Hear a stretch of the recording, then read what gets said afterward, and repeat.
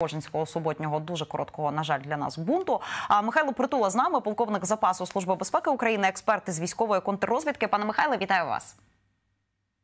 Вітаю вас, вітаю Україну. А пане Михайле, значить, Суровікін в Ліфортова дійшов нарешті, і в принципі це логічно, так що його туди посадили, що його туди посадили. Але чого тільки його? От, наприклад, чого не Пригожина? Ну він же ж був обличчям цього бунту. Він там всіх зазивав, снаряди економив. А Суровікін він ніби ну навіть публічно закликав «Остановіться». От е, я теж думаю, що це було. От як всі ми, що це було? Якщо Пригожин дійсно йшов на Москву, то він мав йти далі. Йому нічого за це не було. От. А якщо це якесь кіно, то що це за кіно? От е, такі питання. Звісно, як е, професіонал у цій справі, я будую різні версії. От е, вас не здивувало, наприклад, та особа, яка як Путін виступала по 5 хвилин. Звичайно, Путін виступає там півгодини. От 5 хвилин 24-го, 5 хвилин 25-го ну щось ну зовсім якось не не по путінськи От і є ще така дуже давня мудрість. Кажуть, нема відповідальності за державний заклад, є відповідальність за спробу державного закладу. От е, коли ми все це е, подивимось, то може дійсно був вже якийсь державний заклад, і він таки відбувся. Але ми сховали, ми якось не розуміємо, що там відбувається на цих болотах, тому що вони завжди своє кіно. І от е, цікавий момент. Е, коли ми е, дивилися виступ цієї особи, яка от зараз, то а чи Путін це? Е, ну, Для Москви це секрет Полішинелі, тобто всі знають на у Кремлі і навколо кремлівських зонах, скажімо так, з тим, що е, у Путіна є двойка. Двойка це вони так називають двійника. Ну, що не Путін був, а двойка.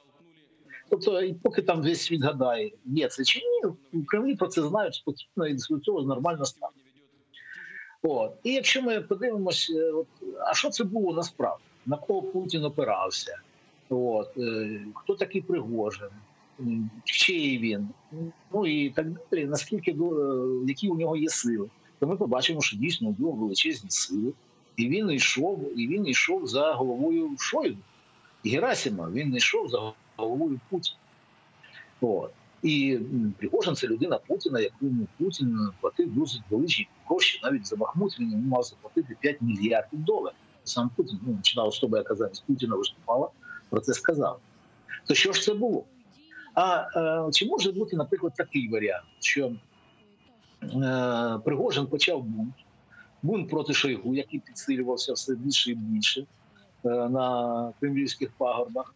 От, і пішов проти власне того самого Шойгу. І е, Путін втік, поїхав на Валдай, його ізолювали. От. А далі відбувся традиційний для Москви ГКЧП, те, що було в 91-му році. На справжнього Путіна ізолювали, а того, який е, виступав, його витягли одну з двоє. Тобто, е, у, Горбачова так не можна було зробити, тому що у нього була е, досить велика родина п'ятно, і він е, був досить примітною особою. А у Путіна цього немає. У нього навпаки є кілька двох. От і якщо ми от дивимося на все те, що відбувалося, то версія про те, що це був е, вдалий державний заколот, коли тобто з боку Пригожина він був не вдалий, а з боку Шойгу, який тут же згрупувався своєю з тими людьми, які приводили Путіна до влади в свій час, вони згрупувались і зробили ГКЧП, а Путіна ізолював. Тоді стає все логічно. Чому сидить Суровікін? Е, чому вислали Пригожина, куди вислали за якою метою? От. І де насправді Путін? Чому чому він якийсь не такий, не та особа? От. Тобто, що це було? Ну, може був дійсно державний заклик у традиційному для Москви вигляді. Ну і от е, зараз ми маємо керівників е, силових відомств, які власне приводили Путіна до влади. Це Патрушев, Наришкін, Бортніков. Е, і які власне мету приведення для Путіна до влади вони ніколи не приховували. Мета приведення Путіна до влади це було відновлення радянського союзу, і відповідно Путін робив те, що е, заради чого його привели до влади.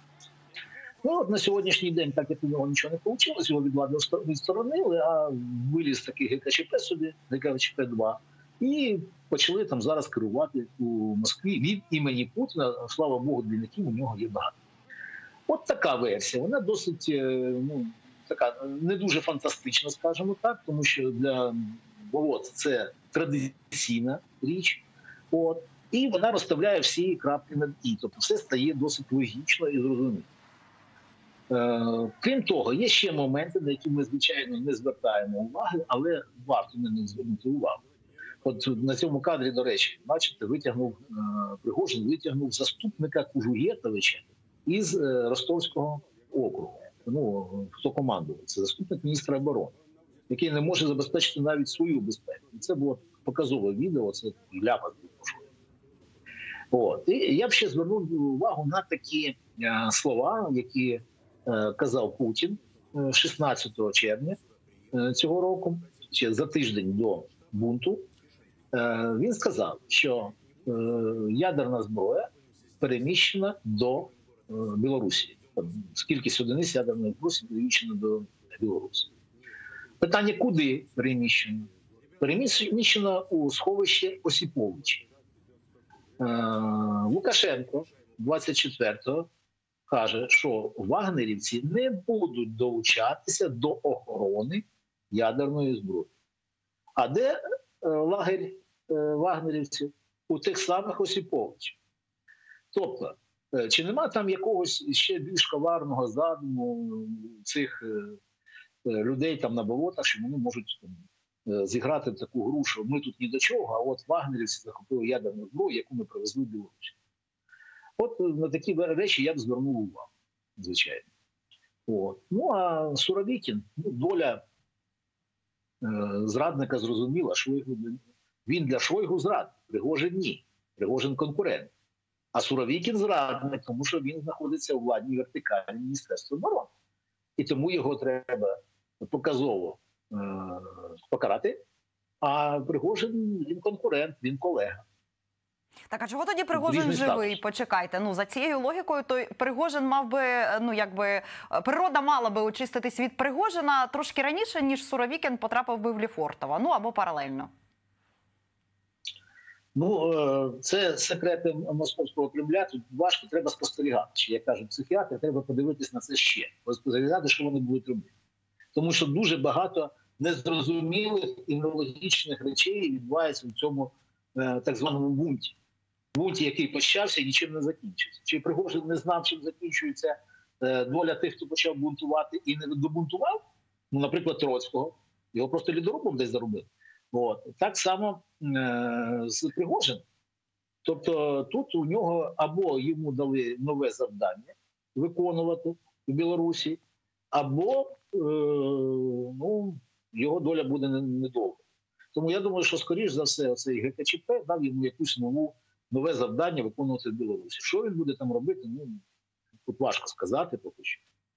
Може там спробувати атакувати Україну. Ну, ще подивимося. А я ще хотіла знову- запитати: а для російського війська який це матиме вплив? Бо там була ще інформація від оцих от хворих зетвоєнкорів, що ну Суровікіна то понятно в СІЗО відправили, але починають репресувати і офіцерів, зокрема льотчиків, що нібито ті льотчики не хотіли летіти, бомбить колони вагнерів цих. А як летіть бомбить, якщо у Вагнери з ППО збивають навіть увага командирський цей іл? А, і е, яке тоді, ну як в якому стані тоді ці льотчики? Мало того, що їхніх колег позбивали там в нормальній такій кількості по техніці, і тут же їм шиють державну зраду, що ви не полетіли Вагнера бомбить. Ну, це лягає добре в версію, що це був е, саме заколот проти Шойгу і його е, командної вертикалі. От е, тут все логічно. Тобто, Шойгу мстива людина, і він мстить тим, хто не виконав його накази, і таким чином, начебто, став на сторону е, Пригожина. От. Пригожин, ми пам'ятаємо, що це людина довірена Путіна, що Путін, ну, справжній Путін, не знаю, який там час. От справжній Путін йому довіряв, і справжній Путін, е, у якого параноїдальне таке ставлення до того, що можуть отруїти, і так далі. Він довіряв йому їжу, тобто своє здоров'я. От і звісно, що е, у цьому випадку Пригожин е, він більш людина Путіна, І тут був так би мовити бунт Пригожина проти Шойгу, і це декларувалося. От. І Шойгу е, зараз він е, знищує саме тих, хто в його міністерстві підтримав е, Пригожина. Він відновлює так звану владну вертикаль.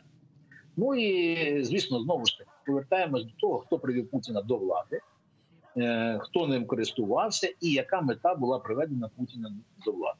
Путін неодноразово декларував, що він йде до влади, щоб відновити радянський союз, зробити радянський союз 2.0. От. А з цією е, е, важної государственної задачі він не справиться. Ну от, звісно, його е, трошки почали е, пресувати, і тут відбувся бунт чомусь саме Пригожина, і Пригожин він не був ніколи на стороні там когось проти Путіна. Ні, жодним разом. Він був завжди за Путіна. І таким чином ми бачимо, що могло бути розділення саме е, з, з дозволу Путіна. Е, Пригожин е, почав бунт проти Шойгу. метою з, з- знести цю е, небезпеку вже для Путіна, тому що Шойгу фактично став другою особою в державі, і фактично він став е, вже небезпекою для самого. Тобто, ну от десь так дуже важко прогнозувати, коли ми не знаємо всієї інформації. А кого Це цей бунт логічно. може а кого цей бунт може підняти медійно? Бо з'явилася інформація, що техніку, зокрема і та, яка залишилася від вагнерівців, віддадуть Росгвардії. Ну і відповідно е, голова Росгвардії, цей Віктор Болотов, піднімається, ніби там я не знаю, ну принаймні медійно. А хто ще може бути? Кого ще оця от хвиля підніме?